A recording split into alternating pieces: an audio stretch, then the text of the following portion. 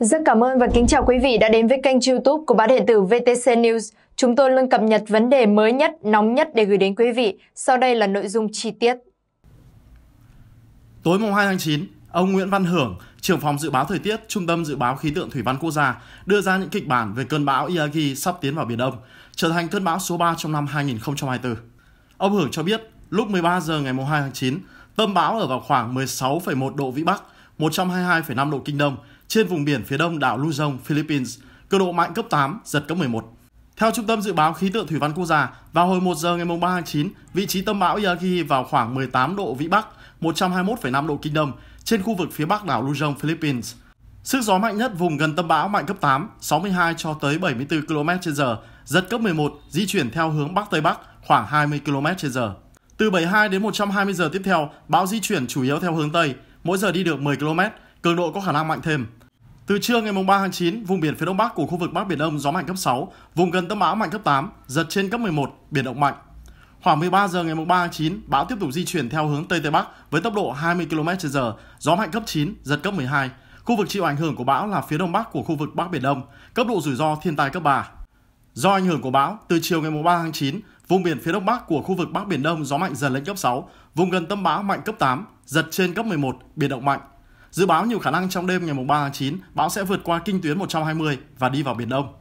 Khi bão di chuyển vào Biển Đông, các điều kiện khí quyển, gió, khí áp, đại dương, nhiệt độ nước biển ở khu vực Biển Đông đang là 30 tới 31 độ C sẽ thuận lợi cho sự mạnh lên và di chuyển theo hướng Tây của bão Yagi. Dự báo trong khoảng từ mùng 4 tới mùng 6 tháng 9, bão Yagi có thể đạt cấp bão rất mạnh trên khu vực Đông Bắc Biển Đông, gió mạnh tối đa có thể lên tới cấp 12, 13, giật cấp 16 vùng gần tâm bão. Trong 24 giờ tới, vùng biển phía đông của khu vực Bắc Biển Đông, sóng biển cao từ 2 tới 4 mét, vùng gần tâm bão cao từ 3 tới 5 mét. Sau đó, từ ngày mùng 4 tới ngày mùng 6 tháng 9 có thể tăng lên 5 tới 7 mét, biển động dữ dội, rất nguy hiểm đối với tàu thuyền. Ông Hưởng thông tin, Đến thời điểm này, chưa thể khẳng định bão Yagi có thể vượt qua đảo Hải Nam và di chuyển vào vịnh Bắc Bộ để ảnh hưởng trực tiếp đến đất liền nước ta hay không. Tuy nhiên, dưới tác động của hoàn lưu bão Yagi thì từ ngày 3 tháng 9, vùng biển phía đông bắc của khu vực Bắc Biển Đông sẽ có những ảnh hưởng của hoàn lưu bão. Đây mới là những nhận định sơ bộ về diễn biến của bão Yagi vì khi vượt qua phía bắc đảo Luzon, cường độ và đường đi của bão sẽ còn những thay đổi do tác động của địa hình và dòng dẫn quy mô lớn. Biển Đông vừa trải qua một tháng 8 yên tĩnh lạ thường, không một cơn bão hay áp thấp nhiệt đới nào hoạt động. Điều này rất hiếm khi xảy ra. Trong suốt 61 năm qua, chỉ ghi nhận 6 lần Biển Đông không có bão, áp thấp nhiệt đới vào tháng 8, gồm các năm 1980, 1985, 1988, 2011, 2015 và năm nay là lần thứ 6. Các chuyên gia khí tượng nhận định đây là điều khá bất thường trong bối cảnh chuyển pha từ El Nino sang La Nina nhất là khi khu vực Tây Bắc Thái Bình Dương những tháng qua gánh chịu bão dồn dập. Từ đầu mùa bão 2024, khu vực này chứng kiến sự xuất hiện của 10 cơn bão, trong đó 5 cơn bão ảnh hưởng trực tiếp đến các quốc gia Đông Á. Ba cơn bão mạnh là Gemi, Ampin và Sansan đổ bộ vào Nhật Bản và Trung Quốc, gây thiệt hại nghiêm trọng cho hai quốc gia này. Hiện ở ngoài khơi Philippines xuất hiện một áp thấp nhiệt đới di chuyển gần đảo Sama với cường độ mạnh cấp 7, giật cấp 9. Trong ngày mùng 2 tháng 9, áp thấp nhiệt đới di chuyển chậm theo hướng Bắc Tây Bắc, có khả năng mạnh lên thành bão với tên quốc tế là Yaji. Theo nhận định của các chuyên gia, hướng di chuyển của cơn bão này sẽ rất phức tạp, phụ thuộc vào hoạt động của áp cao lục địa từ Trung Quốc. Dự báo của một số đài khí tượng trong khu vực cho thấy, sau khi mạnh lên thành bão, Yaji có thể di chuyển lên khu vực Hồng Kông rồi tiến vào tỉnh Quảng Đông của Trung Quốc. Một kịch bản khác, bão có thể tiến về phía đảo Hải Nam của Trung Quốc rồi đi vào vịnh Bắc Bộ của nước ta. Kịch bản này xảy ra khi áp cao lục địa hoạt động mạnh. Dù các nhận định về hướng di chuyển của bão còn phân tán, nhưng nhiều đài khí tượng thế giới cho rằng đây có thể là cơn bão rất mạnh trong năm nay do gặp nhiều điều kiện thuận lợi như mặt biển ấm, cộng hưởng với vùng xoáy thấp ở khu vực Trường Sa của Việt Nam. Trung tâm Dự báo Khí tượng Thủy văn Quốc gia cũng như các đài khí tượng thế giới đang theo sát diễn biến của áp thấp nhiệt đới, dự báo sẽ rất phức tạp và khó lường này. Lượng mưa liên tục trên khắp các vùng trung tâm đã khiến mực nước dâng cao đáng kể tại các trạm quan trắc quan trọng dọc theo các thành phố chính tại Lào và miền Bắc Thái Lan trong hai tuần qua. Cụ thể, mực nước tại trạm Nong Khai ở Thái Lan đã đạt đến mức lũ lụt vào ngày 29 tháng 8, với các đợt dâng tương tự được quan sát thấy tại Trường Khan và Nakhon Phanom ở Thái Lan, cũng như tại thủ đô Viêng Chăn và Park Se ở Cộng hòa Dân chủ Nhân dân Lào. Dữ liệu giám sát của Ủy hội sông Mekong quốc tế cho thấy lượng mưa lớn kéo dài trên toàn lưu vực đã đẩy mực nước sông tại hầu hết các trạm lên cao hơn mức trung bình dài hạn. Hiện các trạm giám sát chính ở mức báo động. Tại trạm Nong Khai Thái Lan, mực nước đạt 12,69 m vào ngày 29 tháng 8, vượt qua mức lũ là 12,2 m. Con số này đánh dấu mức tăng 0,89 m trong 5 ngày gần nhất. Tại trạm Trường Khan, Thái Lan, mực nước đã tăng lên 15,03 m, vượt qua mức báo động 14,5 m.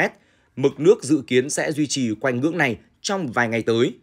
Tại thủ đô Viêng Chăn, Lào, mực nước sông Mekong đã đạt mức 12,11 m, đang ở trạng thái báo động. Dự kiến mực nước sẽ tăng nhẹ trong 5 ngày tới, nhưng dự kiến sẽ vẫn dưới ngưỡng cảnh báo lũ 12,5 m.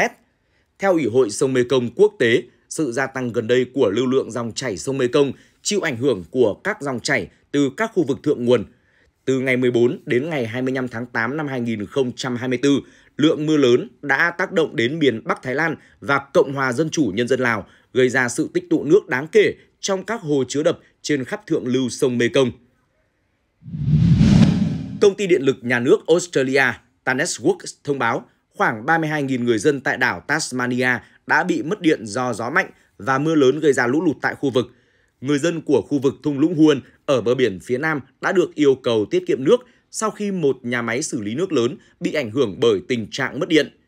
Theo cơ quan dự báo thời tiết quốc gia Australia, luồng không khí lạnh đang di chuyển ra khỏi Tasmania, nơi có dân số khoảng 570.000 người. Tuy nhiên, các giải mưa rào và rông bão vẫn tiếp tục gây ra gió giật, gây thiệt hại. Bộ trưởng Quản lý tình trạng khẩn cấp Tasmania Felix Ellis cho biết trong một cuộc họp báo trên truyền hình rằng nhiều đường dây điện và cơ sở hạ tầng đã bị hư hại và chi phí thiệt hại có thể rất lớn. Các cơ quan quản lý tình trạng khẩn cấp đã ban hành cảnh báo về lũ lụt có thể khiến người dân Tasmania bị cô lập trong nhiều ngày khi tiểu bang chuẩn bị đón một đợt không khí lạnh khác. Nhà chức trách đã nhận được 330 yêu cầu hỗ trợ trong 24 giờ. Người dân của đảo Tasmania đã được yêu cầu sơ tán tài sản trong bối cảnh mưa lớn kéo dài. Chính quyền cũng đã ban hành cảnh báo lũ lụt lớn cho thị trấn New Norfolk trên bờ sông Derwent ở phía đông nam Tasmania. Tasmania cách thành phố Melbourne trên đất liền 1 giờ bay hoặc 10 giờ đi phà với 445 km. Khoảng 40% hòn đảo là vùng hoang dã hoặc khu vực được bảo vệ. Trong những tuần qua, thông tin về siêu động đất có thể xảy ra tại Indonesia xuất hiện nhiều trên các trang mạng truyền thông xã hội. Nhà nghiên cứu Nuraini Rama Hanifa thuộc Trung tâm Nghiên cứu Địa chất của Cơ quan Nghiên cứu và Đổi mới Quốc gia BRIN Indonesia cho biết, những tuyên bố về ngày chính xác của trận động đất là sai sự thật. Theo chuyên gia Hanifa, động đất càng lớn thì chu kỳ càng dài. Ví dụ, trận động đất lớn xảy ra ở Aceh năm 2004 có chu kỳ lên tới 600 năm. Tuy nhiên, chu kỳ này áp dụng cho một địa điểm cụ thể và mỗi địa điểm có chu kỳ động đất riêng. Người đứng đầu cơ quan khí tượng, khí hậu và địa vật lý Indonesia, Daryono trước đó cũng đề cập đến hai vùng siêu động đất được gọi là eo biển Sunda và các phân đoạn Metawai, Siberut nằm ngoài khơi bờ biển phía nam của đảo Sumatra và Java. Siêu động đất là vùng gặp nhau giữa các mảng kiến tạo của trái đất, có khả năng gây ra động đất mạnh và sóng thần. Theo ông Dariono, việc phát sinh động đất ở hai phân đoạn này có thể được coi chỉ là vấn đề thời gian, vì đã hàng trăm năm trôi qua kể từ khi một trận động đất lớn xảy ra.